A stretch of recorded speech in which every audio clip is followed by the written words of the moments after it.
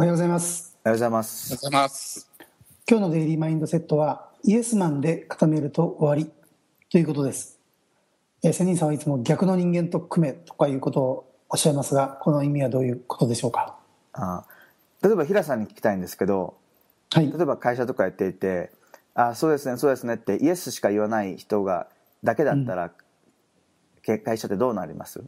会社潰れますね。なんでそうなるんでしょう？ーん。やっぱりあの、社長が判断ミスをすることもあるし、えー安全圏に入ってしまうっていうこともあるし、その働いてる人は新しいことをやりたくないですから、うんそのいつも安牌を求めますから、うんあのイエスって必ず言って何かやってきた時にはあーやってきた時には反対するっていうかあの難しいことには反対してう、うんうんっていうのはありますね。うん、例えばあの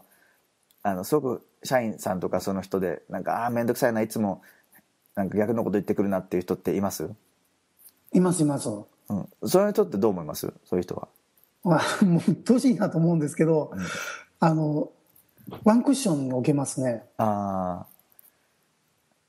全部イエスイエスっていう人よりそういう人がい、あノーと言ってくれる人がいればワンクッションになりますよね、はい。そう。なのであのイエスマンって本当は一番危ないんですよ、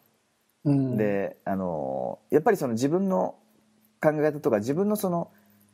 うん、強さってかな？弱さ強さと弱さがこうあの同じような人っていうのはうまくいかないですよね。うん。だから自分とは違う強さを持ってて自分とは違う弱さを持ってる人っていうのがそのいいバランスになるんですよ。はい、だから個人的に好きな人っていうのはあのなんか話が合うっていう人とはビジネスがうまくできないんですよね、うんうん、そう。だから僕友人とかその身の回りの人ですごく話が合うなとかあなんか一緒に食事したら楽しいなっていう人いるんですけど、はい、仕事には絶対ならないですよ。うん、同じようなタイプだから。だからやっぱり話があんまり合わないなこの人ちょっとおかしいなっていう人だと仕事がちょっとうまくいくっていう人があるんですよね、うん、そうそうですね。イエスマンか。あの小崎さんは一人でやってるんで、はい。イエスマンとかはどう思いますか？この話は。まあお話を伺ってて、でも僕がさんとその